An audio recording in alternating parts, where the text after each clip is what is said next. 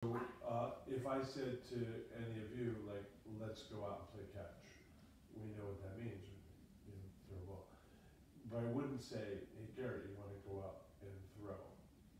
What does that mean? And yet, if we went out to play catch, half of what we do is throwing. And half is catching. So, the homework is to practice being loved.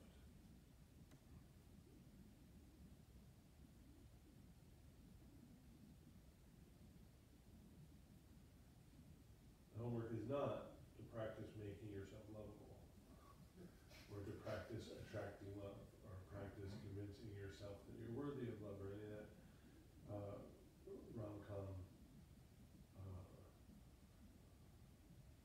tragedy pit.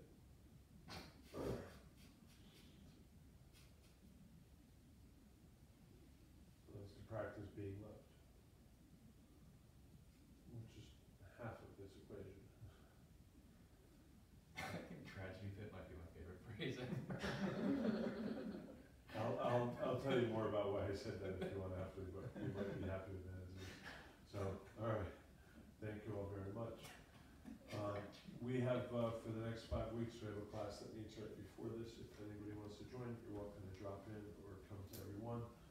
Uh, Garrett can tell you a bit about it.